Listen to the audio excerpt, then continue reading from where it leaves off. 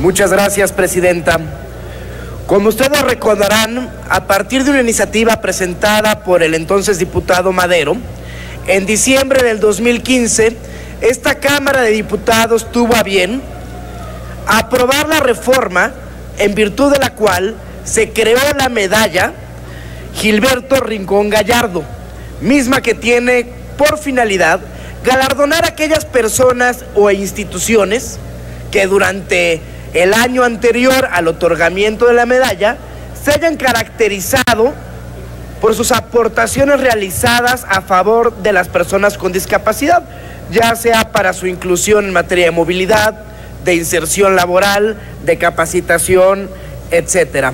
En virtud de esa reforma aprobada por el Pleno de esta Cámara de Diputados, la Comisión de Régimen, Reglamentos y Prácticas Parlamentarias quedó compelida a expedir el reglamento correspondiente para que se establecieran las reglas, plazos, formas de emisión de la convocatoria y criterios para el otorgamiento de dicha medalla.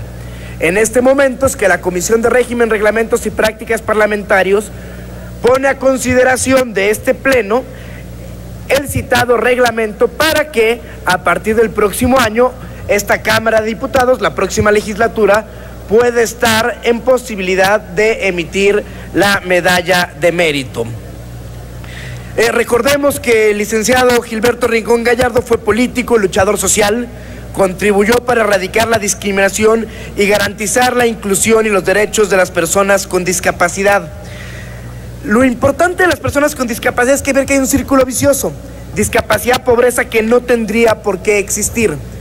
Si vemos eh, los porcentajes del tipo de discapacidad que tienen las personas por su nivel de intensidad, vemos que el 38% de ellas tiene una discapacidad leve, son datos de la Secretaría de Desarrollo Social, el 34.3% moderada, el 22% severa y el 11.1% extrema, que es la incapacitante por completo. Y nos damos cuenta que no obstante lo anterior no tenemos una inclusión laboral y un empoderamiento de estas personas.